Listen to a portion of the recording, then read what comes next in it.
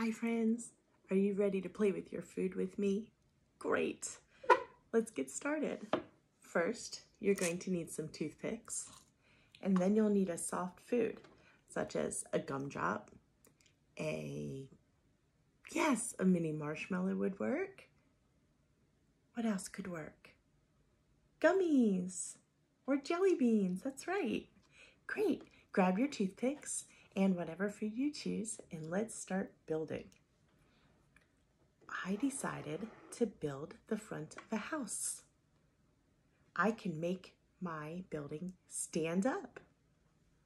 Or I also decided to build something that would lay flat on the table. There's so many different things you can do with your toothpicks and your food. Watch this. Orange. And then yellow. And I'm going to put purple on the other side. Look. Now my whole stick is covered in gumdrops. Have a great time playing with your food, friends, and I can't wait to see what you're going to build.